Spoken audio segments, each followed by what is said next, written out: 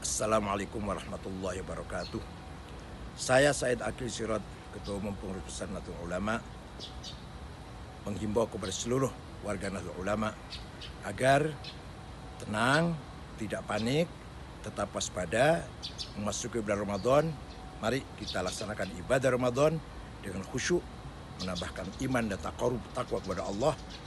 Mudah-mudahan kita semua diberi keamanan, ketenangan, dan kedamaian kepada aparat yang berkompeten, terutama aparat ke keamanan, saya yakin mampu menciptakan ketenangan, mampu mewujudkan keamanan sehingga warga bangsa Indonesia, terutama masyarakat Islam yang akan melakukan ibadah puasa, merasa aman dan nyaman. Dengan harapan semoga ke depan aparat keamanan lebih meningkatkan lagi kualitasnya, kewaspadaannya, dan kejeliannya. Terima kasih. Syukron.